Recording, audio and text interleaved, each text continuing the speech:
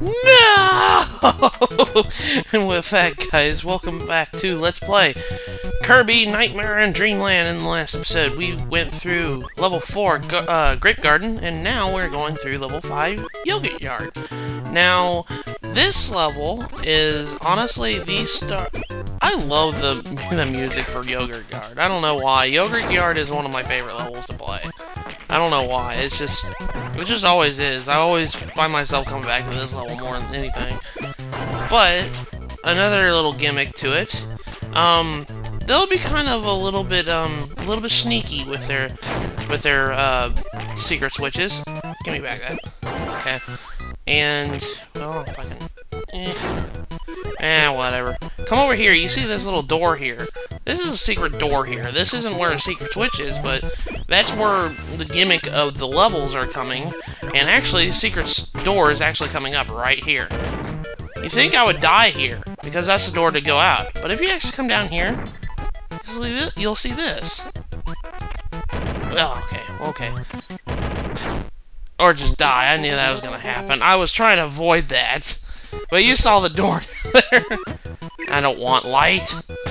I, I don't want to fill your dark soul with light. Okay, I, I know that was kind of a bad reference to that. but anyways, this secret door down here. Come over here, there's a secret switch. There's the first of the secret switches in Yogurt Yard. Um, but this is where the game kind of gets tricky with the placement of them especially the last, the one in the last stage. The last, uh, last stage of the level, you actually have to have a required power in order to access it, and the game will start doing that for a lot of things, and it'll start doing that for a lot of secret switches later on in the game, especially on level 6, which will be taken taken on the next next episode. But anyways, we completed that one, and it just unlocked a what I never really told said what the secret switches do. It really just reveals a minigame. That's all it does. Either a minigame or the warp area. For that matter.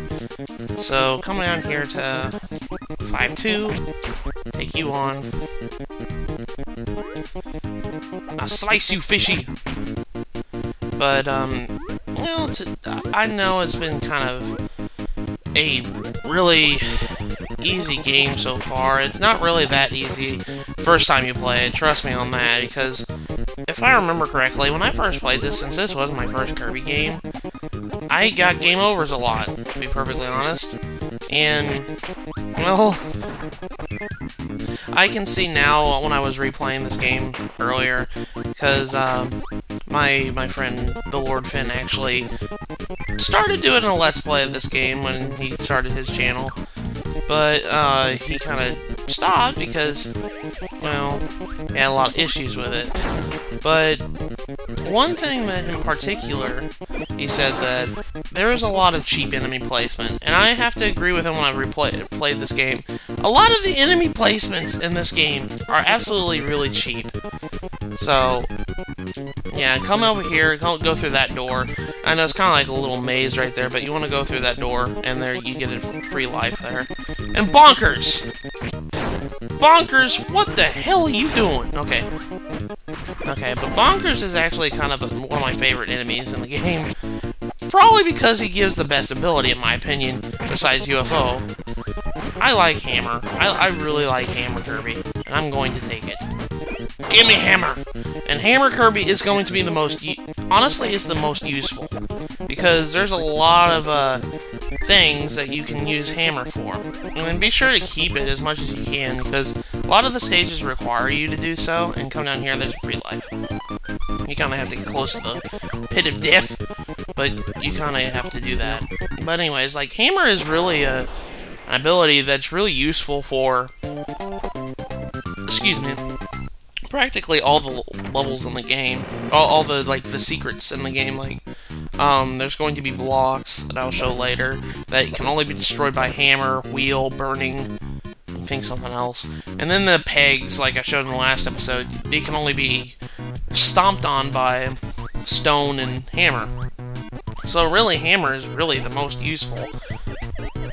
But anyways, I mentioned I had a story in the last episode, and I got completely off topic and I completely forgot to go back to it. But when I was younger, I I kind of made like a fan fiction story that included like all like things from like Pokemon to Kirby to Sonic, all these other fanfics when I was younger. And keep in mind, I was only like nine years old when I wrote this. But like, it was a really I had a big imagination. I just died. Gosh, I just lost Hammer too. But I had like a big imagination like that. I know it's not like really imaginative if you steal other people's work, but I, I kind of like that. It, it, was like a story of uh, a guy that went through all like the scenarios of some of my favorite games when I played, like uh, this one in particular, and oh shoot, I forgot he could still uh, the spikes, but like um, he won like all the stories of like um, Kirby Nightmare Dreamland, I think Sonic Adventure 2 was one of them, and... Oh yeah, that's right, Golden Sun 2, made him go through that. And another game that I played when I was younger, and I will do a Let's Play of it sooner, it's called Baten Kaitos. I don't know if any of you guys ever heard of that game, but I made like the character go through all those scenarios and whatnot, and one of one of his companions was in fact Kirby.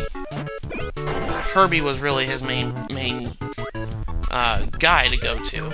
So, I kind of like had that idea. I, I, forgot what the character's name was. I, it's been so long. I don't. I, I wrote it all down. I was.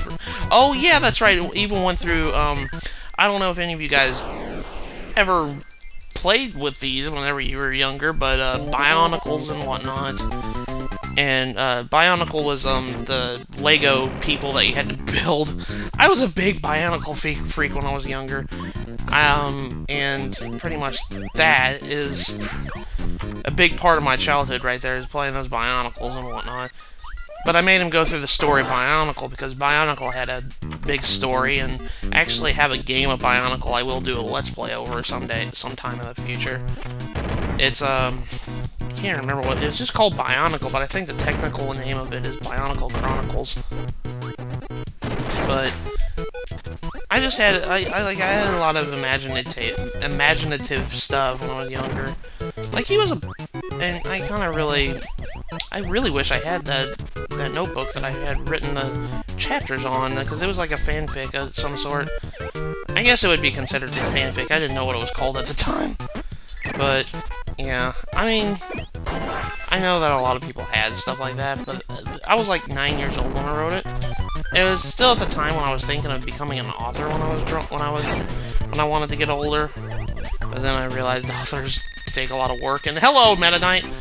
Um, this one's kind of an easier Meta Knight fight, not compared to the last one, because all these uh, enemy placements and whatnot are kind of... Well, I can kind of see now why, uh... like, these enemy placements aren't so bad. I'm not gonna lie, these aren't so bad as compared to the last one. It's just when those guys... when those guys, like, spawn, and they kind of, like, go forward a little bit, yeah, that, that can kind of get a little annoying. These guys are not so bad, but... Let me eat you! There we go. When they do that, that's when it kind of gets a little tricky, because... Go over here. I'm gonna eat you too. Come over here. But yeah, that's just that in a nutshell. Oh, wow. Come here, I eat you too. There we go. See, this one wasn't that bad that time. The other one was kind of really bad because the enemy placement was just absolutely awful. Ball, Kirby. Whoa, whoa, whoa, whoa, whoa, whoa. Get out of ball, Kirby. You gotta go plummeting down to the, to the death here. Now, over here, there's a secret switch. Now, this one's kind of... First time playing, you might just pass this by. But actually, you see the door there? There's a door there. Go them through it. And you get in this little room here. They'll reward you with a maximum tomato, and actually, I might get Spark. Or I'm not gonna get Spark! That's fine, too. I don't know how to get that. Can I... Yeah, I can. Okay, good. I thought I could. I didn't know if I could suck that up, because I know there's some limes you can actually just suck up, but... Go through this door. There's a switch.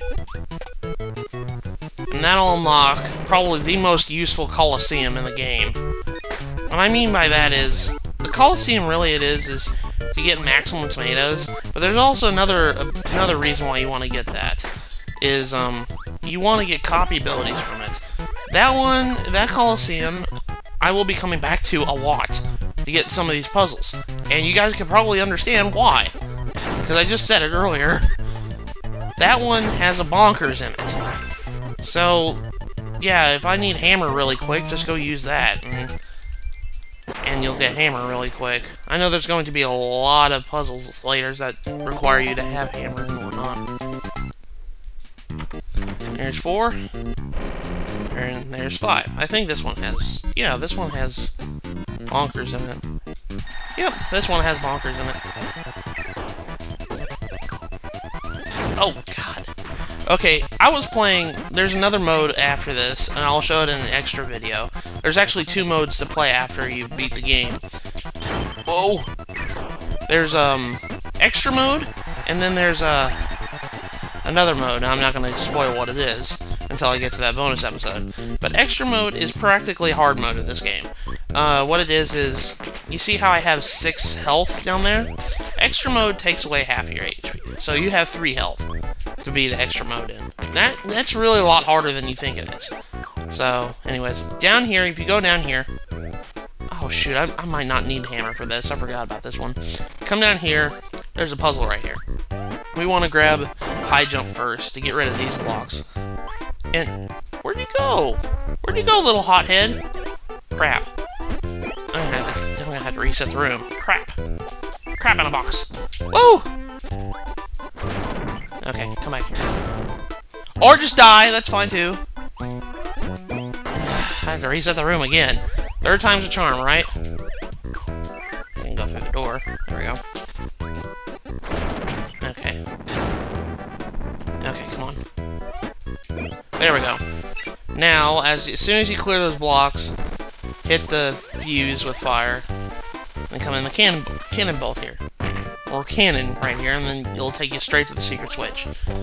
So, now we have practically all the secret switches hit. Well, I think we got one more after this.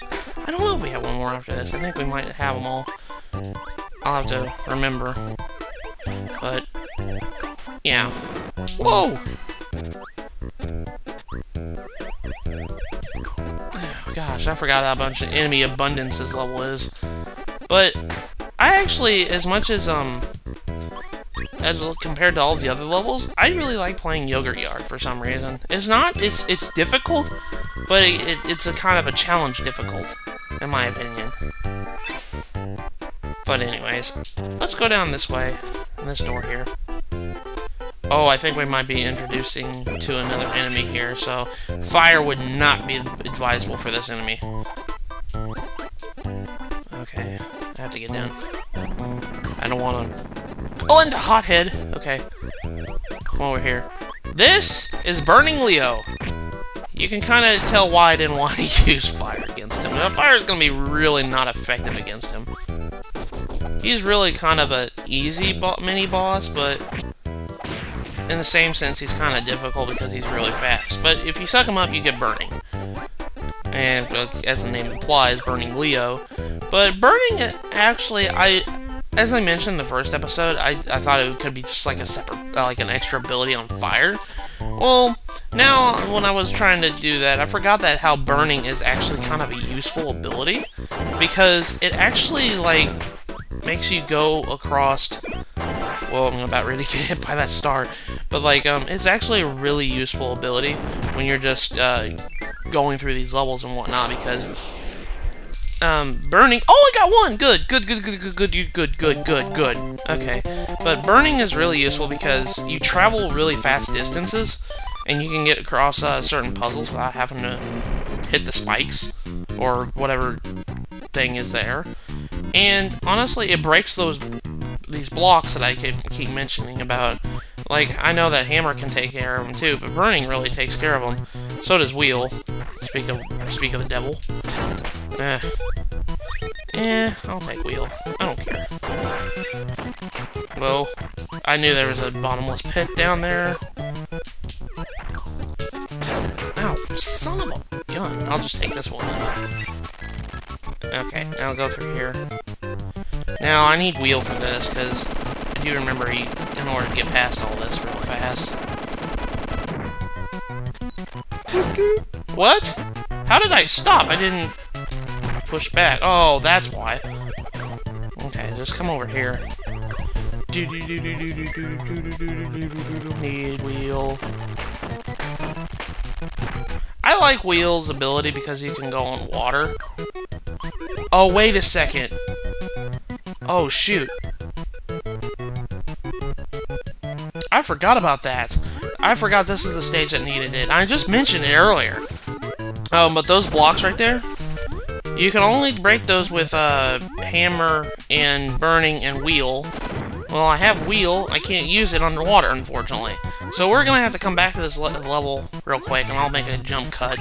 As you can see, there's the switch right there. The only way you can get through it is by breaking these blocks, and the only ability that you can use to break those blocks underwater is wheel, or is hammer.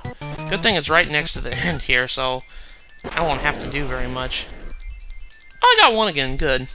I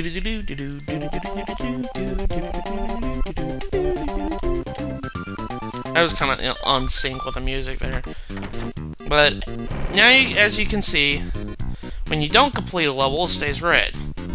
And little section of the levels unlocked. Let's go ahead and get Hammer real quick. I forgot I needed the Hammer. I forgot this is the level I needed Hammer in. But yeah, this is probably the most useful Coliseum in my, my opinion, because you need, uh, in order to get hammer. This is an easy way to get hammer. So let's go through that level again. I know we're gonna have to... You know what? I might not just cut it. I'll just... It's, it's gonna be fast enough. Now you just have to go through this whole entire level without taking damage. Or losing your ability. You can take damage, but make sure you get your hammer again. Oh, come on. This is kind of really annoying. Whoa! Okay, just wait for the wheel to go past. Okay. Now, let's go down this way. I do like how uh, Kirby and the Amazing Mirror, um, Kirby has an extra ability with Hammer. When you dash and then you push B, he does like a swinging motion with his hammer. Like he, um, like he can't, he does, uh, like, like a, a twirl with it. That's kind of cool. Whoa! I do like these stages because they're not too long. Like, you saw how fast I can get through this. And actually... Alright, right here, there we go. See, now you can break those blocks with hammer. He kind of does a motion like that when he's running, but like forward. He like does a circular motion with it. But anyways, there we go. And also I wanted to show something off. Whenever you complete a level, you could just leave through door. So from the start menu, so once you're done, you're done. So anyways, let's go ta tackle the boss here. Now I don't know this boss's name, but he's really not that hard, and um, he pr practically just takes away all the... He makes a tunnel, but you can also make tunnels with yourself with using hammer and whatnot. Just don't do it too too close to the ground because he will die. But he's really not that hard of a boss. Like, you know, a level 5 boss, he's really easy. A tunnel! But yeah, a level 5 boss, he's really not that hard at all. Especially if you have a hammer. But if you don't have any ability, he will shoot projectiles and whatnot. Level 6 Orange Ocean. Run! well, anyways, guys, I'm going to end the episode here. So the next episode of Let's Play Kirby Nightmare in Dreamland, we are going to tackle Level 6 Orange Ocean. And there's a lot of puzzles here that require this ability right here. So I'll see you guys in the next episode.